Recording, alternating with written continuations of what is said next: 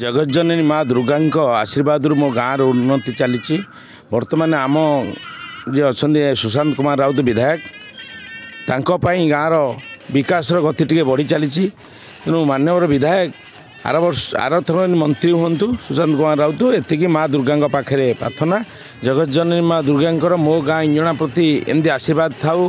ମାଆଙ୍କ ଦୟାରୁ ଏମିତି ଇଞ୍ଜଣାର ବିକାଶ ଦ୍ରୁତଗତିରେ ଆଗେଇ ଚାଲିଥାଉ।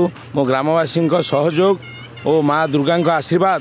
ଆଜି ଏ ବିକାଶର ମୂଳ ଲକ୍ଷ୍ୟ ମୁଁ ମାଆଙ୍କ ନିକଟରେ ଏତିକି ପ୍ରାର୍ଥନା କରୁଛି ମାଆଙ୍କ ଶୁଭଦୃଷ୍ଟି ସର୍ବଦା ମୋ ଗାଁ ପ୍ରତି ବିଶ୍ୱ ପ୍ରତି ଥାଉ।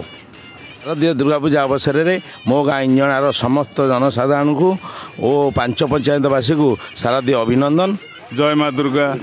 ପୂଜା ଏମିତି ଚାଲିଥାଉ। ପାପର କ୍ଷୟ ହଉ ଧର୍ମର ଜୟ ହଉ। ସମସ୍ତଙ୍କ ଶୁଭକାମନା ଜଣାଉଛି। ଆଉ ଶୁଭେଚ୍ଛା ଇଞ୍ଜଣା ଗ୍ରାମବାସୀ ସମସ୍ତଙ୍କୁ ମା ଦୁର୍ଗାଙ୍କ ପାଖରେ ସମସ୍ତଙ୍କର ସମସ୍ତଙ୍କୁ ମୋର ଅଭିନନ୍ଦନ। ଆଉ ମାଆଙ୍କ ପାଖରେ ସମସ୍ତଙ୍କ ପାଇଁକି ମଙ୍ଗଳ କାମନା ମୁଁ କରିଅଛି ଇଞ୍ଜଣା ଗ୍ରାମବାସୀ ତରଫରୁ। ଏତିକି କାମନା କରିବି ଆମ ଗ୍ରାମବାସୀଙ୍କର ଉନ୍ନତି ହେଉ ଏବଂ ଗ୍ରାମବାସୀଙ୍କର ସମସ୍ତ ସହଯୋଗ କରନ୍ତୁ ଏବଂ ପୂଜା ଧୁମଧାମରେ ପାଳନ କରାଯାଉ। ଏତିକି ମୋର ଦୁର୍ଗାଙ୍କ ପାଖରେ ପ୍ରାର୍ଥନା କରୁଛି।